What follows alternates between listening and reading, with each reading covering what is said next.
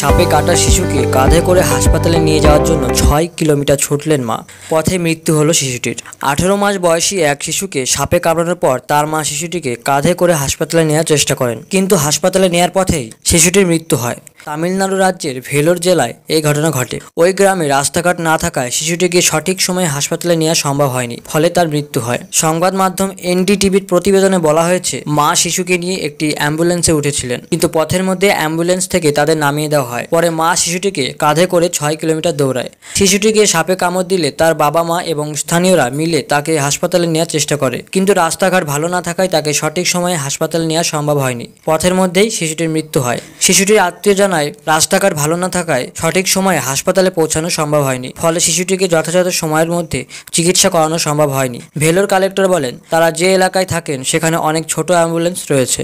এছাড়াও ওই পরিবার যদি স্থানীয় স্বাস্থ্যকর্মীদের সঙ্গে যোগাযোগ করতেন, তাহলে শিশুটিকে প্রাথমিক চিকিৎসা দেওয়া সম্ভব হতো। কিন্তু তারা সে কাজ করেনি, বরং তারা শিশুটিকে নিয়ে মোটর সাইকেলে ওঠার সিদ্ধান্ত নেয়। তিনি আরও বলেন, রাস্তাঘাট তৈরির কাজ চলছে, কারণ বন বিভাগ থেকে রাস্তা তৈরির জন্য অনলাইনে আবেদন করা হয়েছে। এ ঘটনা পুলিশবাদী হয়ে একটি মামলা করেছে। ভিডিওটি ভালো লাগলে একটি লাইক করবেন এবং আরও এরকম তথ্যমূলক ভিডিও পেতে হলে আমাদের চ্যানেলটিকে সাবস্ক্রাইব করে পাশে থাকা বেল আইকনটি অল সেট করে রাখবেন।